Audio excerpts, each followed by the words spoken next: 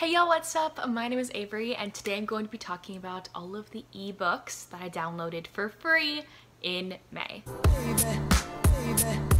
So let's dive right on into these books. At the time I downloaded all of these for free. I'll let you know if they're currently still free or if you can download them on Kindle Unlimited once we get to them. First I have Blind Alpha by Charlotte Michelle. This is on Kindle Unlimited or you can purchase it for $5.31. Every decision has a corresponding consequence. However, in this case, it was a costly and deadly consequence. At the age of 16, Landon becomes the alpha of Shadow Pack after a battle killed his father, destroying his pack back and cost him his eyesight.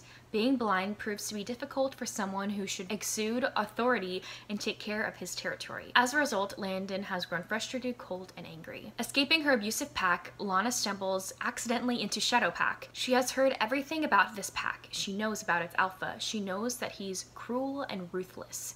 And she knows for sure that she'll die upon stepping on the pack's territory. However, there is one thing she still has to discover. Lana and Landon are mates, yet meeting each other is just the start of their story since a pack is eyeing Lana for vengeance. Now both of them have to make a sacrifice for the sake of their pack's safety. Next is Author Seeking Mountain Man by Marley Michaels. This is available off of Kindle Unlimited or you can purchase it for 99 cents. When romance author Aster Hollingsworth takes a long needed break in search of inspiration, she finds her Alaskan mountain getaway cut abruptly short when a tree meets the front of her rental car during a freak storm. Stuck in the middle of nowhere, Aster needs more than a mere writing retreat, she needs help and fast. Lucky for Aster, a mountain man in warm plaid comes to her rescue and inspires her more than any time writing alone ever could. Lucky for Greg Cooper, this gorgeous wordsmith who blurts out whatever she's thinking and intrigues him to no end might be exactly the kind of woman he's always wanted. Next is This is War by Kennedy Fox. This is still available to download for free. Travis King is the worst kind of a-hole. He taunts me for being a good girl and mocks my high standards. He's cruel, crass, and has enough confidence to last two lifetimes and I hate him. It wouldn't matter so much if he were avoidable, but considering he's my older brother's best friend and roommate, I see him more than I'd ever want to. His sculpted abs and gorgeous eyes are wasted on such an arrogant man, which makes me hate him even more. Even though I've had a crush on him ever since I was 10, the feelings weren't mutual and he's made that very clear. He's always loved getting under my skin, and one night against my better judgment, I let him in my bed. The king is about to get played at his own game and lose. Checkmate King. Next is Not You, It's Me by Julie Johnson. This is available to purchase for $4.99. Gemma Summers is Unlucky in Love. She's known it since third grade when her first crush blew a spitball into her hair. Boring guys and abysmal morning afters has nothing to improve her prospects. When a random radio contest lands her courtside tickets to the hottest playoff game of the season, Gemma thinks her luck may finally be on the upswing, at least until the dreaded Jumbotron kiss cam lands on her and her date who's too busy ignoring her to notice. Thankfully, the stranger sitting next to her is more than willing to step in. One kiss, two strangers, no strings attached.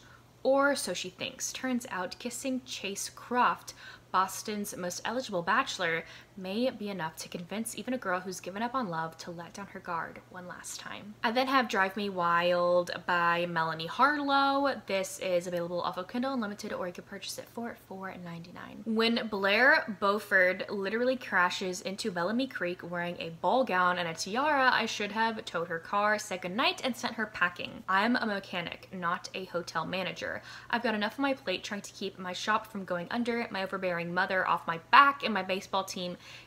in contention for the league championship. I don't have time for a former debutante with zero street smarts and a cash flow problem, even if she's crazy beautiful. Problem is, she's stranded in my small town and I'm hiding a protective streak underneath my broody exterior that runs deep. So I offer her a place to stay and keep my hands to myself for exactly one night. If only she weren't so gorgeous, so funny, so eager to please. She's a disaster behind the wheel, but she drives me crazy without even trying. At work, at home, in the back of my truck, I can't get enough of the way that she makes me feel. But I know better than to think it will last. She wants a fairy tale, and I'm no prince. So when it comes time for her to leave, there's nothing I can do but let her go no matter how much it hurts to say goodbye. I then have Savage Hunger by Lisa Renee Jones. This is still available to download for free. Rick Savage They call him Savage, and for a reason.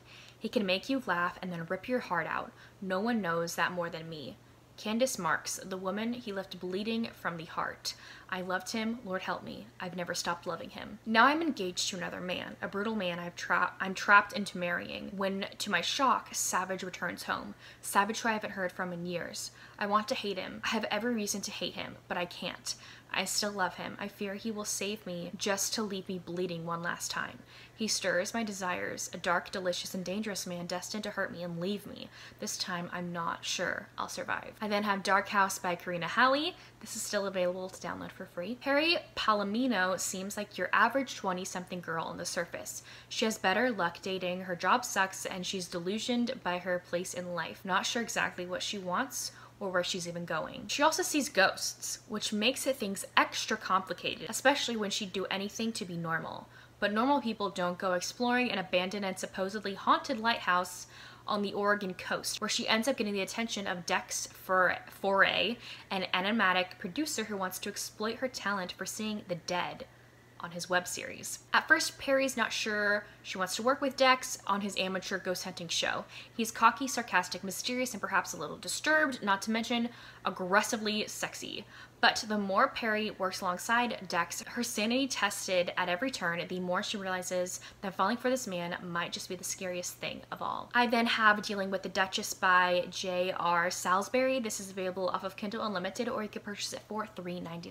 The Duchess of Bentley is just out of mourning. As a widow, she has certain freedoms other women do not, but she has neither the time nor inclination to look for dalliance. She's much too busy overseeing the very special properties left to her by the late Duke, including the elite gaming hell known as Dante's Inferno, until another nobleman returns to London and reminds her that she is still a young, passionate woman. The Duke of Evermont has returned from the Caribbean. His life is full, running his estates and seeing to his investments. The last thing he is searching for is a wife. That is until he sees Eleanor again, and the other society beauties fade in comparison. The last time he saw her, Eleanor was walking down the aisle to another man. This time, Evermont is determined to not let the beautiful and vibrant lady slip through his hands hands. Fortunately for him, the Duchess turns to him for help, and he's more than willing to sweep her under his ducal cloak for protection, whether his assistance is required in shielding her from the members of society foolish enough to gamble away their fortunes or the heartless schemes of her own father. Evermont will do what it takes to show their, her their future together is a sure thing. Then I downloaded Dead of the Night by Emily Goodwin. This is still available to download for free. Never trust a vampire. I might have learned that lesson the hard way, but when I find myself in a vampire-owned bar, I don't have much of a choice. With vampires still trying to assimilate into mainstream society, I've done Lucas King a favor by stopping one of his patrons from draining a human dry in the basement of his bar a favor he'd prefer to repay in bed than in kind. Vampires and witches have had no more than a jaded history, and when witches start showing up dead in surrounding covens, all signs point to something old and powerful, something that knows the ways of the witches, something or someone like Lucas. What's worse than trusting a vampire? Falling in love with one. I then have Lonen's War by Jeff Kennedy. This is still available to download for free. Alone in her tower, Princess Oria has spent too long studying her people's barbarian enemies, the Destrye, and neglected the search for calm that will control her magic and release her to society. Her relentlessness makes meditation hopeless and her fragility renders human companionship unbearable, Oria is near giving up. Then the Destrye attack, and her people's lives depend on her handling of their prince. When the cornered Destrye decide to strike back, Lonen never thought that he'd live through the battle, let alone demand justice as a conqueror, and yet he must keep his guard against the sorceress who speaks for the city. Oria's people are devious, her claims of ignorance absurd. The frank honesty of her eyes promise could be just one more layer of deception. Fighting for time and trust, Oria and Lonen have one final sacrifice to choose before an before an even greater threat consumes them all. Then I have Killer Love by Tabitha Drake. This is still available to download for free. We don't belong together. I'm betrothed, promised to his enemy. But Luca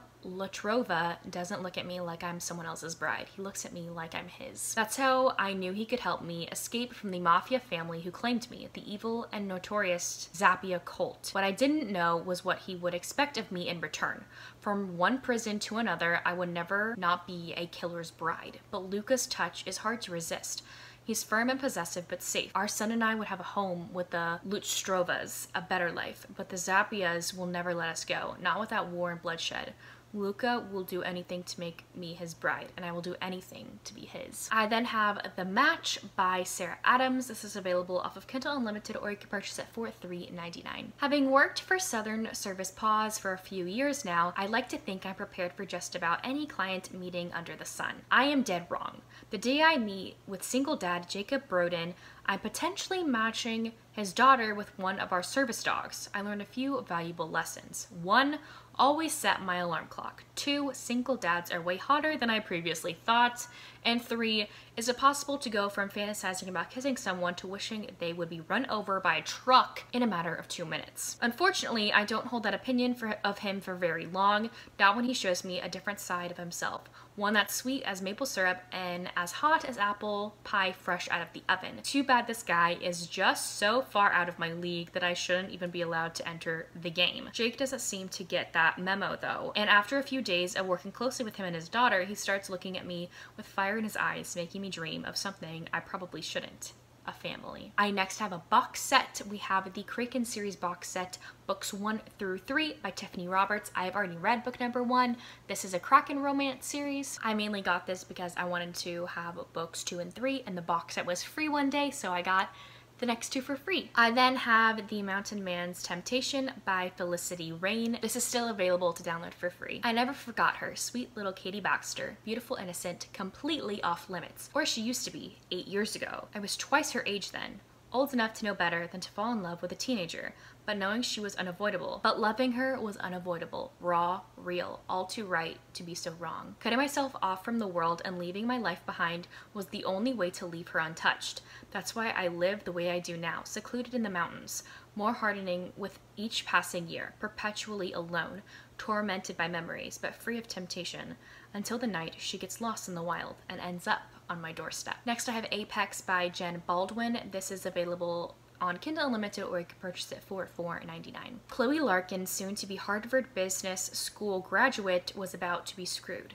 The company she and her best friend had built from the ground up for the past six years was about to dissolve, and she had no job lined up after business school and a mountain of debt waiting. That was until she was given one last opportunity to pitch closet connections to one of the most successful companies in the country, Apex Investing.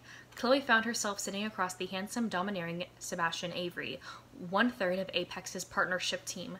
Sebastian Avery likes control and ran his company and his submissives with a firm hand.